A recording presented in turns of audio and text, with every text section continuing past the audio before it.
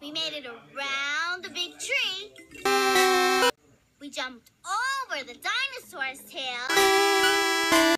So next